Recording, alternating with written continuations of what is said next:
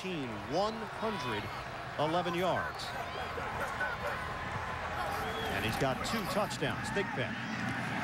Picked off, intercepted, and it's Leodis McKelvin, the rookie, trying to break to the clear. He's got major speed, and McKelvin diving towards the goal, and he's in. Touchdown, Buffalo. Leodis McKelvin, the rookie out of Troy. He is a rookie no longer. After the play he made on Monday night to put him back in the game, returning that kickoff for a touchdown, and what was coming. He jumped the slant route, got inside and underneath Mark Bradley, and then the awareness to get to the sideline and take it in for a touchdown. This is the play that the Buffalo Bills were looking for. Just a phenomenal play by the and it's 20 to 14 after the 64-yard interception return for McKelvin.